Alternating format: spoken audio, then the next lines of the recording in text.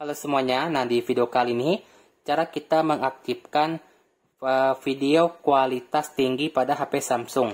Nah buat teman-teman yang ingin merekam video pada kamera HP Samsung, ingin menggunakan kualitas tinggi ya. Nah jadi caranya itu cukup mudah. Oke, nah langsung saja untuk ke caranya. Nah seperti ini ya teman-teman ya. Di sini kita buka aja di pengaturan. kita tekan video.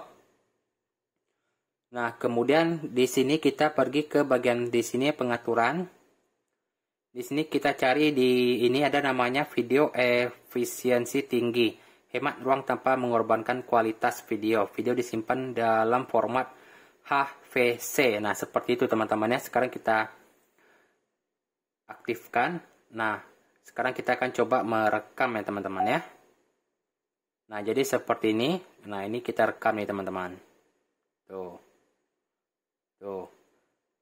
Oke, sekarang kita petikan. Nah, kita akan lihat.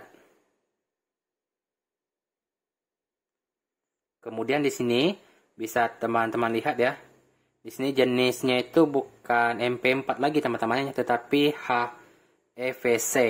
Nah, ini memang agak kelemahannya sih. Kalau kita mau mengedit video yang hasil kita rekam itu tidak semua aplikasi editor yang sudah support H, H yang tadi itu biasanya kan MP4 aja. Jadi kalau kita matikan biasanya misalnya seperti ini ya untuk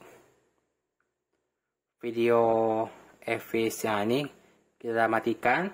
Nah, sekarang kita akan rekam ya. Oke, kemudian di sini kita lihat.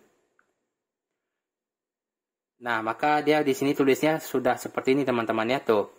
H titik 264. Nah, itu kan yang versi normalnya. Kalau yang tadi itu kan sudah beda. Jadi kurang lebih untuk caranya seperti itu teman-temannya. Semoga teman-teman paham dan silahkan dicoba saja. Buat teman-teman yang ada pertanyaan silahkan komen aja di bawah ini.